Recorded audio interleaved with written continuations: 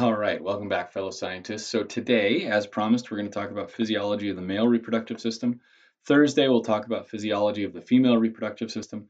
No real assignments for this week. On Thursday, I might post a little discussion board assignment, just one thing you learned from Tuesday, one thing you learned from Thursday, but not really, not really anything. Uh, do please take notes on this. Blank notes are on OneNote. Uh, and then in this video, I will be referencing other videos uh, on YouTube, and I'll put those links on LMS RenWeb. So please do take the time and go ahead and watch those. Uh, they do they go a little bit more in depth, and they have a little bit better uh, computer animation, and they can actually they can actually show the process and show the show the physiology. Um, so we're going to talk about, like I said today, physiology of the male reproductive system. Uh, technically called spermatogenesis, right? It's a most most scientific words are actually like if you break them down they're actually descriptive biology study of life right? Spermatogenesis genesis is beginning is making uh, so production of sperm. Uh, typical male will produce about 1 million sperm per day. Uh, either those get used right or they just kind of kind of sit there and kind of die right? Cells go through normal life cycles and and then once they die then they're kind of reabsorbed and their and their contents their nutrients um, are are recycled basically uh, so, so spermatogenesis happens here in the in the testes, right, and specifically in the seminiferous tubules, right, which is which is right here. So if we zoom in on just one of these, because here it's it's kind of it's all kind of coiled up and it's one tube, right? It starts here and then it kind of goes down here and then it goes back, but it's all kind of coiled up and bunched up and stuff like that.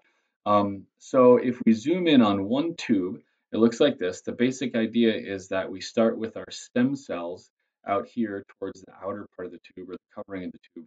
Uh, and then as the stem cell uh, goes through its process of becoming a sperm and kind of matures, right, into, into mature sperm, uh, then it'll kind of move in towards the center of the tube. Uh, and then, of course, the center of the tube is hollow because it's a tube, right? Uh, and then that, that hollow part, then that will go towards the rete testes and then towards the epididymis and then uh, vas deferens. and then and then out. Uh, so we start here at the covering of the tube with a little cell that I've labeled A right here. So this is our this is our germline cell. This is our stem cell.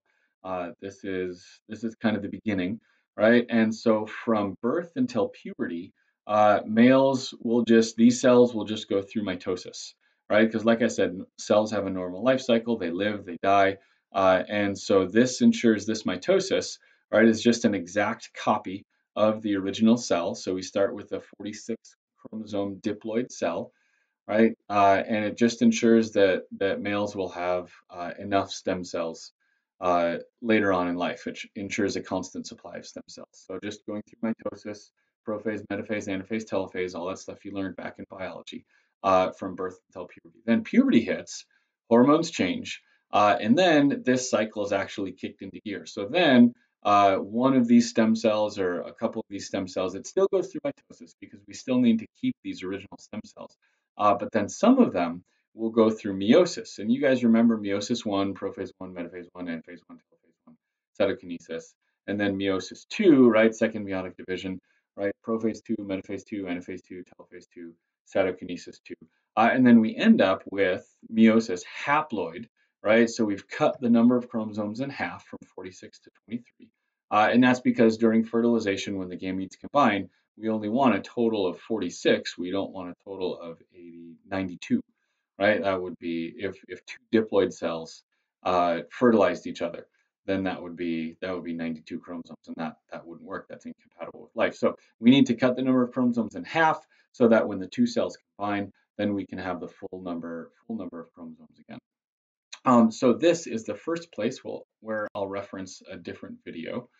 So if you go uh, YouTube, like I said, I'll have I'll have the link, uh, but if for some reason that doesn't work, human physiology, uh, reproduction, spermatogenesis, little five minute video. Uh, they do they do a lot more of talking about this process. They use a lot more terminology. You don't need to memorize all the terminology. Just remember the terminology that we talked about in our notes, but it is it is helpful. So please go ahead and watch that.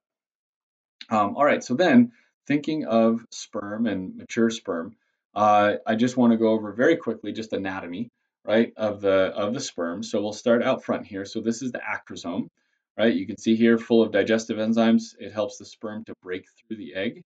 Here I'm probably my face is covering that. Okay, so it helps the sperm to, to break through the egg. So the egg has a protective covering uh, and only one sperm can get through, only one sperm can, uh, can fertilize the egg. That's the way that God in his infinite wisdom made it. Uh, and so this acrosome helps to break through that protective covering uh, and helps whatever sperm uh, actually makes it through uh, to, to be the one. Nucleus, this is the payload. This is the most important thing. 23 chromosomes, like we said, it's haploid. Uh, mitochondria, because the, the sperm needs an energy source, it needs ATP uh, to make its flagellum swim, to make its tail kind of, kind of, it actually works in kind of like a spiral motion, kind of like a corkscrew motion. Um, so that'll that'll make this that'll provide the energy uh, to make the to make the sperm swim. And interestingly enough, uh, all of our all I think I've told you guys this before, but all of our mitochondria and all of our like endoplasmic reticulum and and Golgi apparatus and stuff like that, all of that comes from our moms because the sperm from our dads, right, only only delivers its 23 chromosomes. That's that's all we get. That's all we get from dad. So uh, I, I reference my second video now, and this is this is not. I mean, it's kind of informative. Like he does a really good job. Uh, but but this is a biologist's Mother's Day song. Uh, so go ahead and play that. It's it's it's pretty good. He's kind of talented, uh, maybe a little bit, and uh, and it's it's actually it's actually scientifically biologically uh, medically accurate. It's, it's pretty sweet. Um, so, anyways, and if if you have a mom that's, uh, I know that Mother's Day just happened, but if you have a mom that's that's more uh, scientifically or medically inclined, uh, then remember this for for Mother's Day next year, uh, and and send this to her because it's a hoot. It's pretty good. All right, so let's see. Dun, dun, dun, dun, dun. Yep, just making sure. Okay, perfect. So now now that we have now that we have the sperm made, now let's talk about the journey that the sperm go through uh, to to possibly uh, fertilize an egg. Uh, so I have here our diagram, uh, and I'm gonna I'm gonna reference it with numbers as I describe uh, what's going on. Uh, so number one, the epididymis is right here, and it's about 20 feet long. Uh, sperm take about 20 days to go from the beginning of the epididymis, right, or wherever wherever it is, uh, kind of to get to the end of the epididymis to the to the vas deferens. Uh, and all that's happening there is they're just maturing and they're kind of learning how to swim, right? I don't know what they're how they actually learn how to swim, whether it's trial and error, whether something's teaching them or something like that. But anyway, uh, that's that's what the book says happens. Maturation of sperm learn how to swim.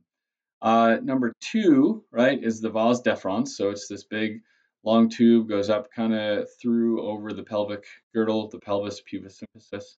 Uh, and that is made of smooth muscle. Uh, and again, sperm are, are maturing in here, right? Not that sperm can ever be fully mature because they're male and horrible. Uh, but anyways, uh, during ejaculation, then the the sperm, the semen, uh, move through the vas deferens through through the process of peristalsis. Uh, during normal uh, physiology, non-ejaculation, then the sperm will just kind of swim uh, through the tube, but the tube is made of smooth muscle, and so we've talked about peristalsis before.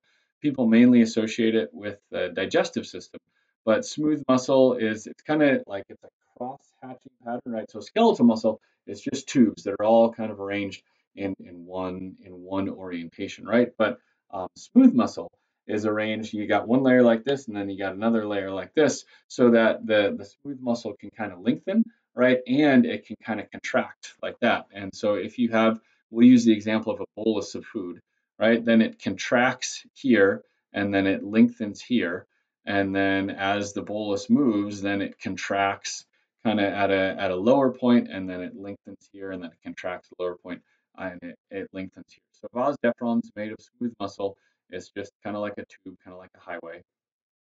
Um, dun, dun, dun, Three is the ampulla right here. So that's just kind of a holding chamber. It's a larger part of the vas deferens. Uh, for sperm, it doesn't it doesn't really do anything. It doesn't really make anything. It's just kind of a location to kind of hang out. Uh, number four, right back here, is the seminal vesicle.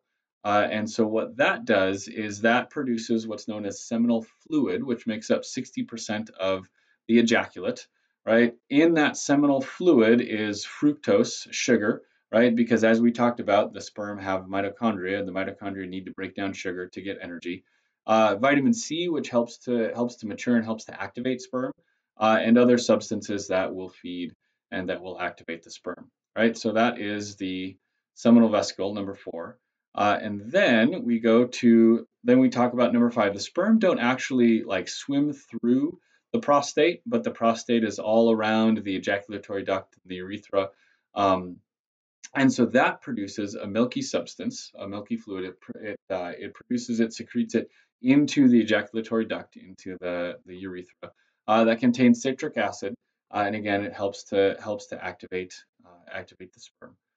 Uh, and then from the prostate right here, then we have the bulbourethral gland, and this is this is the last thing. So right before ejaculation, this will produce like a like a clear, uh, kind of oh not sticky, uh, clear mucus, uh, slippery. There you go, clear slippery mucus uh, that will actually clean the urethra. Because as we talked about, Disneyland is right next to the sewage treatment plant. Urine and semen flow through the same tube. So if semen is going to flow through this tube, uh, it needs it needs to be kind of cleaned out. It needs to be sanitized. So that's the job of the bulbourethral gland that will secrete that mucus that that clears it out.